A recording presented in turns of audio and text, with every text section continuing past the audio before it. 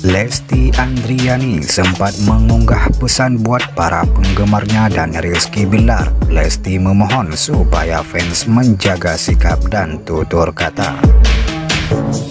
Ia sangat berharap fans tidak menghakimi dan justru mengingatkan dengan cara yang sopan. Menurut Lesti, hal itu juga bisa membuat tali silaturahmi tetap terjaga. Lesti Kejora juga memenuhi permintaan Iis Dahlia yang sebelumnya memang menyuruh ia menasihati fans. Ia sempat mention akun Iis dan meminta fans agar stop membuli hingga menegaskan masih berhubungan baik dengan senior itu. Please, tanpa mengurangi rasa hormat, stop menjadi keluarga Mama Iis Dahlia. Dede dan Mama dari dulu Alhamdulillah punya hubungan yang amat sangat baik layaknya anak dengan orang tua. Kita kerja di panggung hiburan jangan semua dikait-kaitkan dengan kehidupan masing-masing. Seru Lesti. Liz Dahlia rupanya muncul dan memberikan balasan. Ia berharap saran Lesti bisa membuat para fan fanatik bersikap santun. Semoga Leslar berhenti komen yang gak-gak di lapak mama ya di kata Iis Dahlia dan bersikap santun seperti idolanya Lesti Rizky Billar.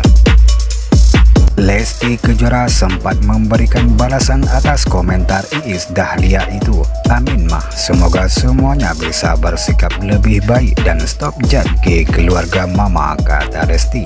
Sayangnya, para netizen pun mengingatkan Iis yang dulu kerap jutek pada artis lain. Netter pun menilai kalau Iis kali ini kena getahnya. Kemarin sama Gigi, hari ini Lesti, besok siapa lagi yang dinyinyirinnya? Sentil netter, merasa terzolimi dia nggak ingat waktu satu panggung sama Raffi, Nagita, Ari Lasso, Meli Goslu. Nagita dinyinyirin habis-habisan sama Isda. Sekarang dia dinyinyirin netizen, Isda nggak terima. Makanya jangan suka nyinyirin orang kalau nggak mau dinyinyirin. Hukum tabur tuai berlaku tutur netter.